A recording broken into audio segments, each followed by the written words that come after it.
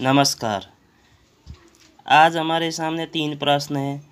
पहला है, मिश्र भिन्न को अनुचित भिन्न में बदलना। दूसरा प्रश्न है, अनुचित भिन्न को मिश्र भिन्न में बदलना। और तीसरा प्रश्न है, साधारण भिन्न को सरल कर भिन्न के रूप में लिखना। तो शुरू करते हैं सबसे पहले, मिश्र भिन्न को अनुचित भिन्न में बदलना।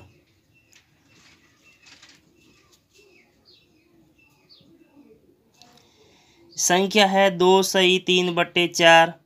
तो सबसे पहले ये चार है, नीचे चार का पाड़ा, यहाँ दो है, दो बार बोलेंगे।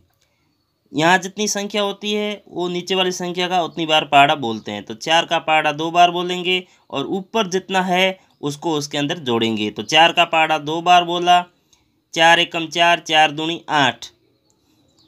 आठ और तीन ऊपर है। आठ और तीन होते हैं नौ, दस, ग्यारह। तो ये बना ग्यारह और नीचे बट्टों में चार है तो फिर यहाँ वापस चार लिख दिया। तो यह हमारी मिस, मिस्र बिन से अनुचित बिन बनी है, ग्यारह बट्टे चार। मतलब चार को दो से गुणा किया और ऊपर तीन थे उसको जोड़ा तो चार को दो से गुणा किया, चार दूनी आठ और ऊपर तीन ग्यारह तो ग्यारह। और बट्टों में चार है तो ये नीचे बट्टों में चार लिख दिए। अब दूसरा प्रश्न है हमारे पास सत्रह बट्टे पाँच है, उसको मिस्र बिन में लिखना है।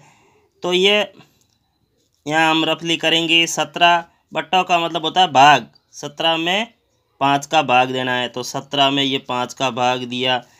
पाँच एकम पाँच पाँच दूनी दस, पाँच तिया पंद्रह।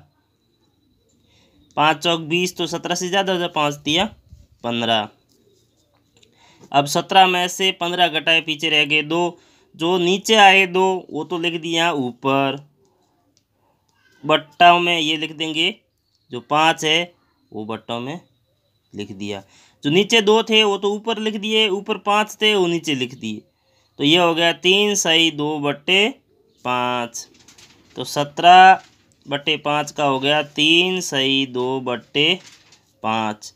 और हमारा तीसरा प्रश्न है सोलह बट्टा छत्तीस को सरल करना। तो सबसे पहले देखेंगे, इसमें दो का भाग इसमें भी जा रहा है और दो का भाग इसमें भी जा रहा है। तो इसमें दो का भाग गया आठ बार और इसमें दो का भाग गया अट्ठारह बार। अब दो का भाग इसमें भी जा रहा है, दो का भाग इसमें भी जा रहा तो दो का भाग दिया इसमें गया चार बार और इसमें दो का भाग गया नौ बार। अब आगे इसमें दो का भाग जा रहा है, लेकिन इसमें नहीं जा रहा। इसमें तीन का जाता है, लेकिन इसमें तीन का नहीं जा रहा। इसलिए ये आगे सरल नहीं होगी तो उत्तर आ गया चार बट्टे नौ। तो इस प्रकार से ये तीनों प्रश्न पूरे हुए। पहले में मिश्र बिन को सरल या अनुचित बिन में बदला, दूसरा था अनुचित बिन को मिश्र बिन में बदला, तीसरा था बिन को सरल किया।